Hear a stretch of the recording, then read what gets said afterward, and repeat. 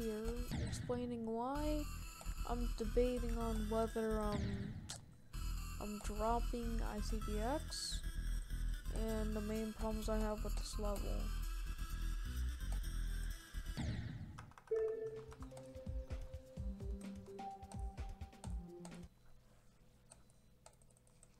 Literally, this this right here is like the literal only bad part about this level. This entire just shit part right here.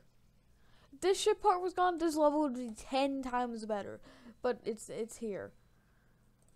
The reason why it's so hard, you go in at you can go in at different places so that the timing is off each time. So it's like really frustrating. It's like that's that's one of the main reasons why I don't why I don't want to play the solo and drop it. But like I'm complain I'm debating because like if I do drop it then I have to do Bloodbath and then Bloodbath's even harder than this and has so many inconsistent parts. So I don't I don't know. I I I don't know. I don't know.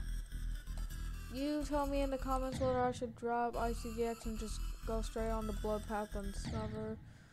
Or stick on ICDX and Suffer at 40. So, uh, yeah, see you next time.